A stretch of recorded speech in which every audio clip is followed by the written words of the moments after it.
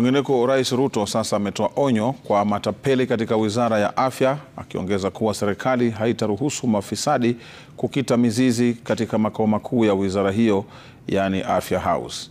Rais akishikilia kuwa mpango wa afya kwa wote utaendelea bila kizingiti chochote.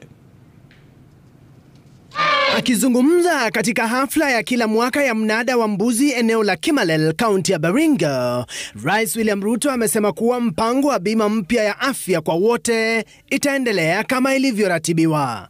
Mambo ni matatu, hakuna mahali watapitia hapa.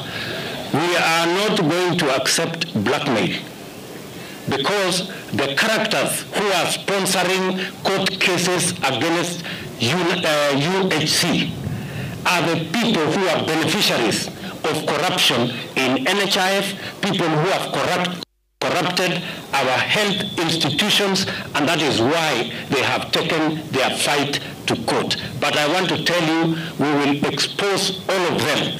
Rais Ruto akisema hakuna nafasi kwa mafisadi ambao wamekuwa wakihujumu shughuli za jumba la afya. Hiyo mambo ya kuiba huko Ministry of Health tutaisimamisha.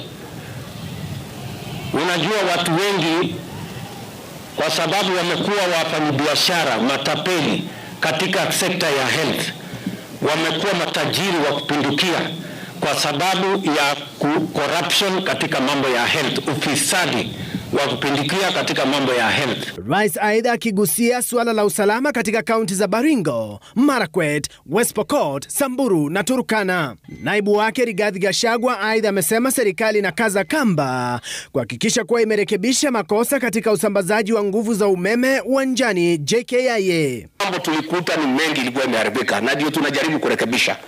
Sasa wanataka kutubebesha hiyo mzigo, na hiyo generator ni hao walinunua pesa mingi, wakanunua kitu fake ikiwekwa moto, ikiwekwa load kidogo inaanza kutoa moshi.